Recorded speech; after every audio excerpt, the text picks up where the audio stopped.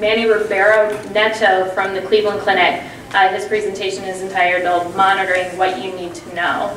Thank you.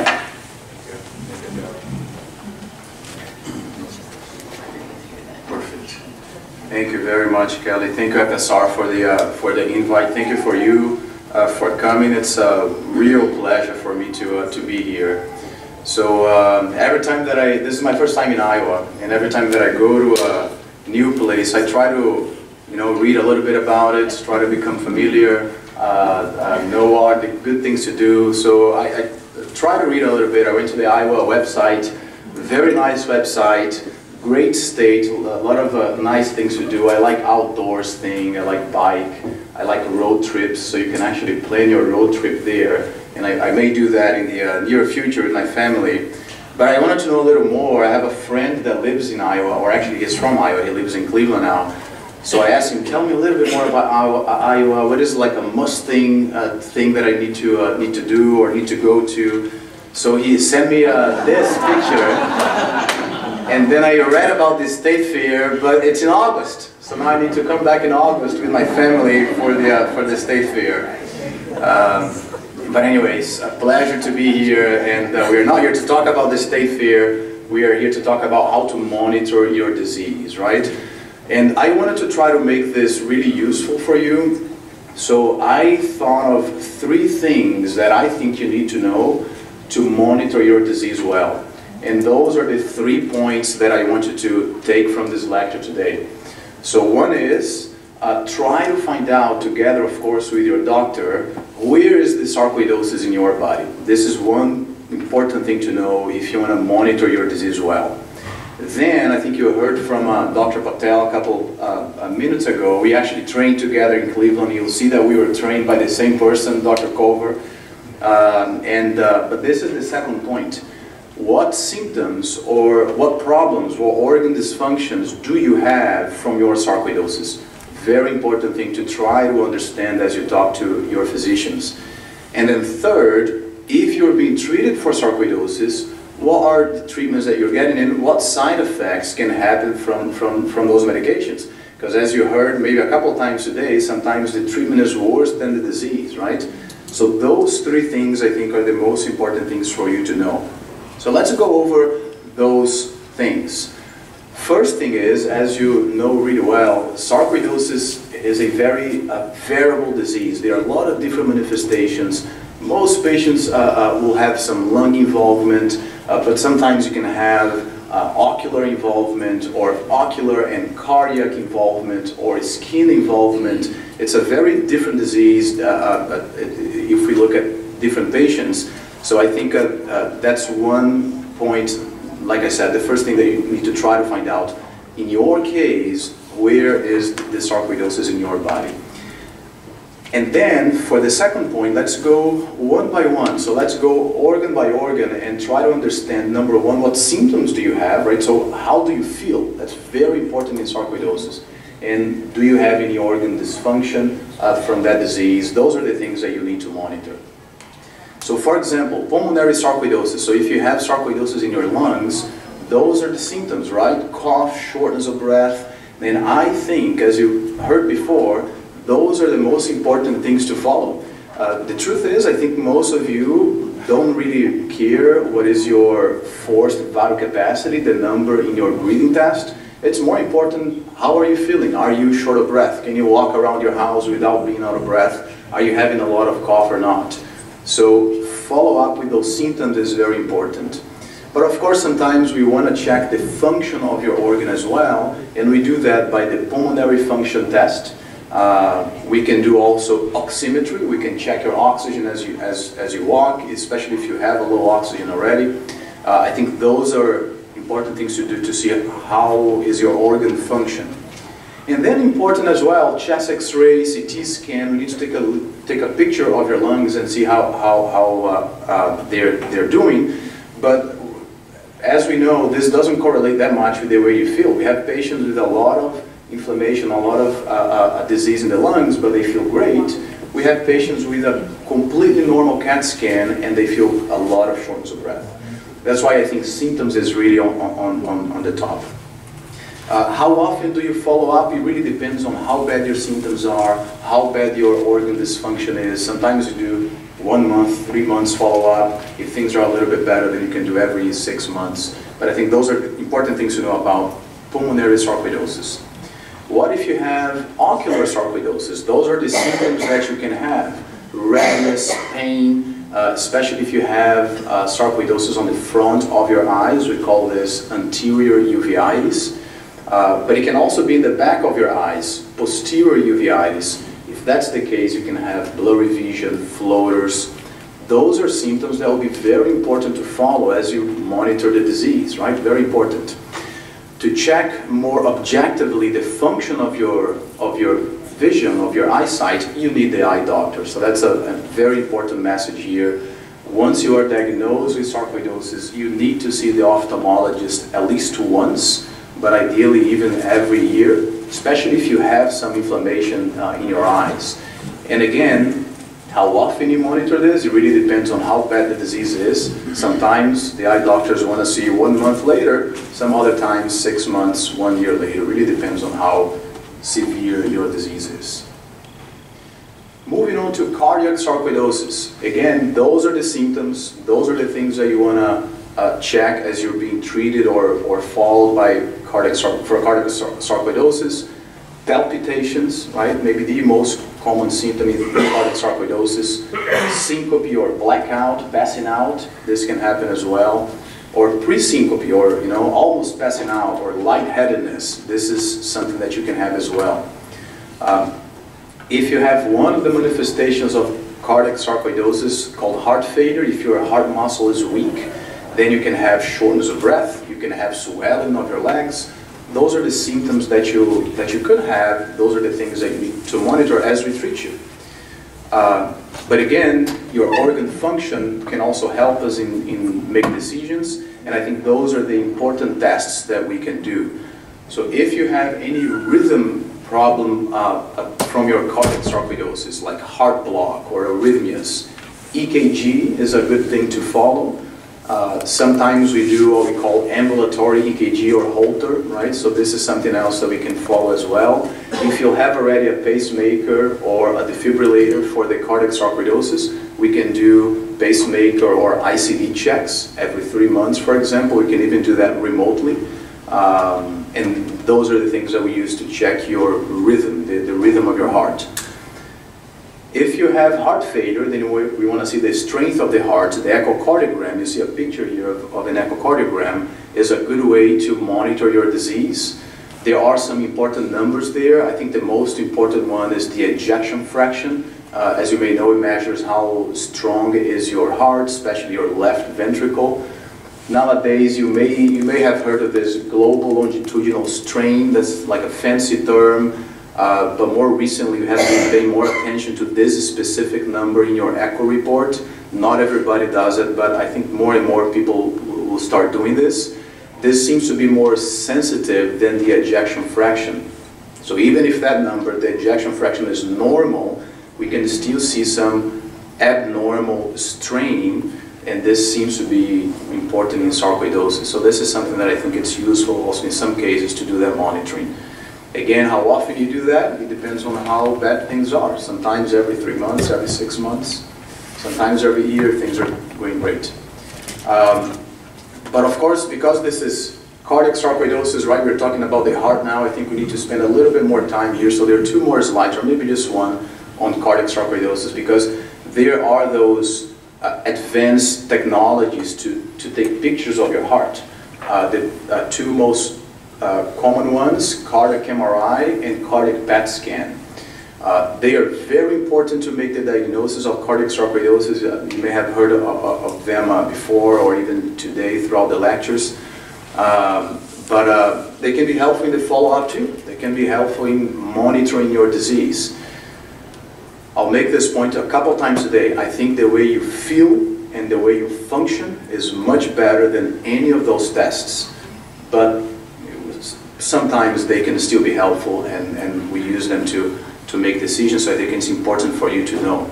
So cardiac MRI, for example, let's say you have cardiac sarcoidosis and you had a cardiac MRI before treatment There are two things, two main things that we look in the cardiac MRI. One is this T2 uh, abnormalities, again, fancy term in radiology, but we believe that it measures inflammation, right? So we're, we're going to see how much inflammation you have in your heart. And then the other fancy term that we use is this delayed gadolinium enhancement. Gadolinium, gadolinium is the contrast that we use in your MRI. We, we want to see if that uh, is lighting up in your, in your heart. And uh, that, we, we usually say that this is a scar tissue, but it can be inflammation as well. But those are the two main findings that we see on the report. As we treat you for your cardiac sarcoidosis, of course, we'll check how you feel, how you, you function, but we are also probably going to check this in, the follow-up uh, to see how things are going. Cardiac PET scan as well. Uh, if you have cardiac sarcoidosis, if you had a cardiac PET scan to diagnose the disease, that may be useful in the future to monitor how things are going. And uh, we basically look at two things there as well. We give a contrast uh, called FDG, that's a glucose with a special marker and it measures inflammation also. So you want to see if this marked glucose goes to your heart and we'll, check inflammation that way. So the amount of FDG uptake can also tell us if you're responding to treatment, if the inflammation is going down. But we also check this perfusion defect. We checked how open are your blood vessels in, in your heart. And uh, that tells us about inflammation, but also about scar tissue. If you have scar tissue in one area of your heart, you won't see inflammation at all, but there's no blood flow going there either. So we see this perfusion defect. Two things that we can use to monitor, your disease. Um, but in my mind, I think the most important thing is how you feel, how you function. Um, how often you do those tests, very controversial. You'll see centers that do a little bit like sooner, every three months or something. Um, I actually, I do at least six months uh, later, but ideally nine months, 12 months. Uh, uh, I don't think we know that well uh, how to respond to those abnormalities, especially if you're doing fine. Right? Let's say if you're feeling better, your echo, your heart function is getting better. If we see still a little bit of inflammation there, I don't think we are sure how significant that is. Then what about neurosarcoidosis? So if you have neurosarcoidosis, your monitoring will be completely different, right, than somebody who has cardiac or pulmonary sarcoidosis. Those are the symptoms, right? So if you have uh, in your brain, uh, you may have stroke-like symptoms, weakness, uh, uh, uh, facial paralysis. If you have in the spinal cord, some of those things can happen as well, weakness, paralysis, um, numbness. Uh, but even if you don't have anything in your brain or spinal cord, if you have problem in your nerves, um, you know, those symptoms can happen as well. A lot of numbness, tingling sensation on, on your feet and hands, burning sensation. Um, so uh, there are some types of neuropathies that can happen in sarcoidosis that would give you those symptoms. If you have those, and if you're being treated for that, that's how you monitor. You see how your symptoms are, and you, that's how we physicians and you patients will know if things are going in the right direction. But again, if you want to check the function of your organs, as far as neurosarcoidosis goes, we need a neurologic exam, right? So very important there uh, to uh, be in a center that has a neurologist, for example, that knows about sarcoidosis, cares for patients with sarcoidosis, so we'll be able to check how, how your function um, is, is responding to treatment. And of course, there are tests that we can do. So if you had a lumbar puncture in the beginning of your disease, maybe showing some inflammation in your spinal fluid, that could give us some good information in the future. If you had the MRI, you see a picture of an MRI there on, the left with a spinal cord lesion. So if you have a MRI in the beginning, we can follow up that MRI in the future also to see if you're responding to treatment, and most of the time uh, we do. Uh, those are the the, the, the terms that you, you'll be looking in your reports, right? So T2 abnormalities, uh, delayed gadolinium enhancement, the same as the cardiac MRI actually. And you want to see if those things are getting better. Cutaneous sarcoidosis, um, those are some of the manifestations that you can have, but uh, I think especially cutaneous sarcoidosis, the way you feel, uh, it's really the most important thing. So we're going to see how the lesions are responding to treatment, how are you feeling about that, and uh, uh, you know, facial lesion may be nothing for one patient, but it may be very disturbing for another patient. So we need to treat those, those uh, patients differently. We need to monitor them differently and change treatment differently as well. Um, what if you have uh, renal sarcoidosis, like sarcoidosis in your kidneys, or if you have also calcium abnormalities, if your calcium is high, this happens in sarcoidosis. So for renal failure, you could be retaining fluid, having leg swelling, right? This is one thing that you need to monitor, make sure that this is getting better. If you have kidney stones, right, you feel a lot of pain, uh, and we need to make sure that this is getting better as well, that you're having less episodes of kidney stones. Uh, if your calcium is, is elevated, uh, this can give you confusion, for example, body aches. Those are the things that we, we want to see getting better as, as we treat. But if we want to check the function of, of your kidney, for example, then we check the creatinine. Uh, this is a number in your blood test that will tell us how things are going. Uh, if we want to see how the calcium is responding, of course, we have to measure the calcium in the blood, sometimes in the urine. And um, something that I think is very important is to uh, uh measure both types of vitamin D. The active 125 vitamin D that can be high in sarcoidosis, and also the inactive, the 25 uh, vitamin D. I put this picture there because I think it's one message that I always try to tell my patients. Uh, we should think a little bit differently about vitamin D when it comes to sarcoidosis because the granulomas that we see under the microscope when we do biopsies, which is like the hallmark of sarcoidosis, they activate vitamin D. So they, they get 25 vitamin D, the inactive vitamin D, and they activate to 125. So if we measure in patients with sarcoidosis only the 25, that could be low, right? But we also need to measure the active one, the 125, because the granuloma is, is, is making that active vitamin D uh, uh, frequently. Um, so this, I think, is an, is an important message, especially if, if you're receiving vitamin D supplementation. I think it's important to keep an eye uh, on those numbers. And again, how often we do that? It, depends, right? Sometimes we check blood work every month, every, every three months, it depends on how things are. And um, of course, a lot of other things can happen in sarcoidosis. This is a summary of the other organ manifestations, things that can happen, things that we can do to monitor. So if you have liver sarcoidosis, we want to make sure that we check uh, uh, uh, often the liver enzymes, AST, ALT, those are measurements of uh, injury to the liver but we also we want to check the function of your liver. Albumin, for example, it's a very important protein that the, the liver makes. We need to take a look at that. If you have sarcoidosis in your spleen, sometimes that uh, destroy the platelets. This is one type of cell that we have in our blood, and we can have a low platelet count, and this can even cause some uh, bleeding disorder, for example. Um, sometimes with spleen sarcoidosis, you have a lot of pain in your belly. We need to follow that as well. That's an important thing to follow when you monitor patients. If you have sarcoidosis in your bone marrow, uh, that's where our cells are produced. So you can have a low number of cells, white cell, red blood cell, platelet count. And if we are treating you for that, we need to monitor those numbers as well. If you have sarcoidosis in your bone or in your joints, pain is the main manifestation. That's how we'll monitor you if we treat you for that. And if you have sinonasal sarcoidosis or sarcoidosis in your sinuses, nasal congestion, for example, it's a very common symptom. That's what we'll be following uh, uh, when, we, when we treat you. Those were the organ-related symptoms. So if you have sarcoidosis in one organ, lung, heart, then those are the symptoms that you, that you can have. That's what we need to monitor. But as you know really well, a lot of symptoms are not associated to any organ, uh, but they're very common in sarcoidosis. So fatigue, pain, concentration problems, memory problems, sleeping problems, right? We can't pinpoint any organ that will cause those, but this is really, at least in my experience, maybe the, the, the thing that bothers you most. And uh, we definitely need to keep an eye on those symptoms as, as we treat you, right? Uh, if, if I'm giving you medication, your numbers are getting better on the uh, pulmonary function test, your uh, inflammation is getting better in your lungs, but you still feel horrible, I, I, I, need to do something else, right? We need to do something else to try to get you in the, uh, in the right direction. So those symptoms are important to keep an eye also. Um, then I think this is probably the, the last slide or one of the last slides.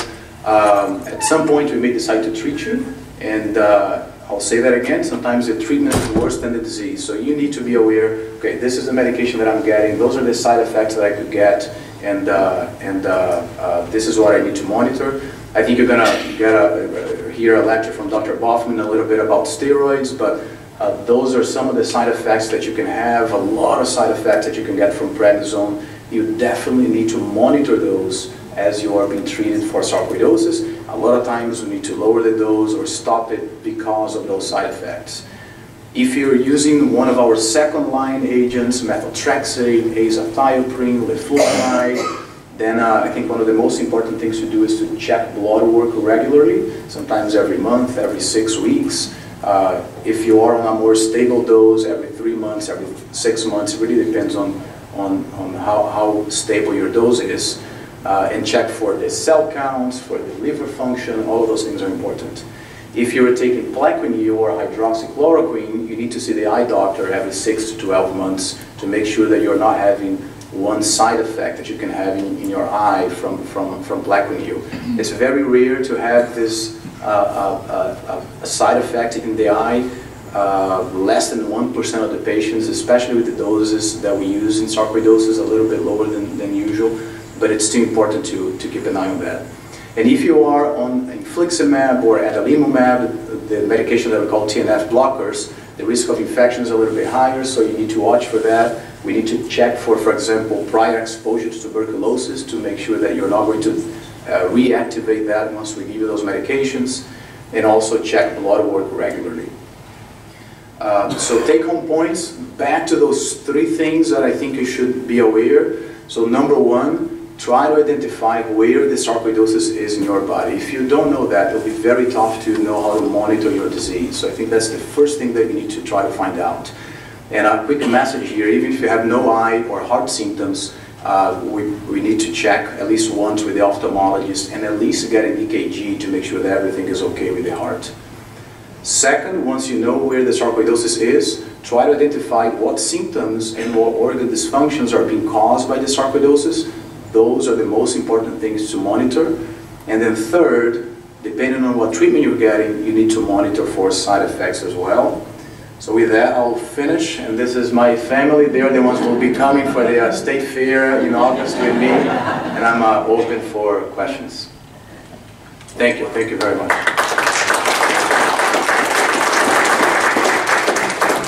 Thank you. Um, we have some good questions that were submitted, and I'm going to get you a, a couple good ones.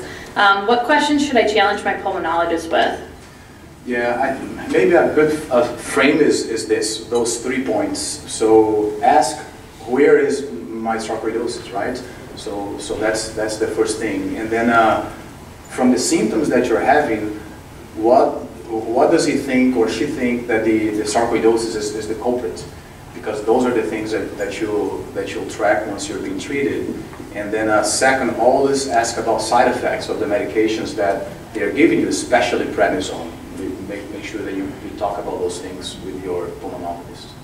There's one that, Um, how I don't often, know. um, how often or how, how common is it to go from one type of sarcoidosis to another? For example, I have um, pulmonary and, uh, the other one, nodes. Mhm. Okay, um, so how often then is it that that can go into the heart?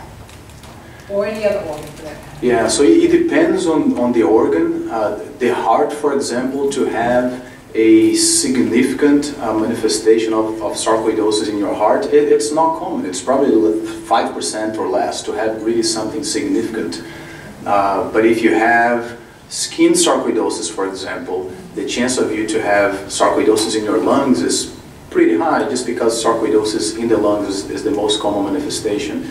Usually, if you're going to have other organ manifestation, usually happens early in the disease, maybe within the first year, first two years. I think that's the period that you really need to be watching for new symptoms and, and, uh, and new manifestations. Uh, We have a couple questions about staging. Some say stage two is worse than stage three SARC. Why or why not? And can stage three just stay in the lungs? How common is it? Can you talk, touch on the staging? Correct. I, I think this is a great point, and even across the, uh, the street, we are having a lot of discussions about this staging as well. Um, um, I think we know a few things about the staging, but we don't know a lot of things. So, in my, for me, the take-home point is, um, I think there are different types of, of the disease, right? So Maybe the right term is even like type, not, not, not stage, because they don't necessarily progress from one to another. But I think there are different types of the disease. Um, and you know, if you have uh, uh, stage one sarcoidosis with just sarcoidosis in your lymph glands, the manifestations will be very different than somebody who has stage four, which is this scar tissue, scar tissue in the lungs. Um, so I I think it's uh, different types of, of the diseases. The monitoring will be different, right? The symptoms will be different. I think this is a, a, a message. And they don't necessarily progress from one to two to three to four. In fact, most of the time this doesn't happen. Well, sarcoidosis always come back when there's recurrences? Is that something that patients can come to expect? Yeah, I think it depends on for how long you have your disease. If you have your disease for more than two, three, five years, then I think at this point it's fair to, to call this chronic sarcoidosis and to expect that the symptoms will be coming back. The goal at that point is to manage sarcoidosis as any other chronic disease, like diabetes, high blood pressure. Maybe we'll not be able to cure you from sarcoidosis at that point, but we can try to control the disease, decrease the amount of flares, decrease the amount of symptoms, give you a better quality of life. But if you're still early in the process, like you just diagnosed with sarcoidosis, depending on the type of sarcoidosis, there is still a good chance that things will go in the right direction and resolve. Can it ever just go away?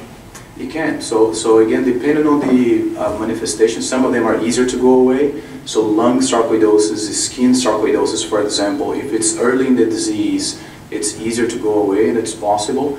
But some others are a little bit harder. So uh, uh, brain sarcoidosis, for example, uh, cardiac sarcoidosis, depending on the on the severity. I mean, high calcium, for example, that's another one. Bone sarcoidosis. Those are types that it's, they're a little bit harder to make it go away.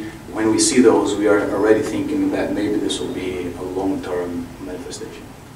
And then last question, um, can you touch on diet and exercise? Anything we know um, or doctors can suggest to their patients? Yeah. So we, we, we probably don't have like a lot of good studies proving that those things are good. For, for exercise, we definitely have for other lung diseases. So we, there's a lot of, there are studies showing that pulmonary rehabilitation or exercise is good for patients with COPD or other types of lung diseases. So I think the recommendation there is a little bit stronger. We believe the exercise is very good for your lung, for your sarcoidosis, for your quality of life. Um, diet, I, I think we don't have a lot of uh, evidence, but more and more we are talking about the uh, anti-inflammatory diet for other inflammatory diseases.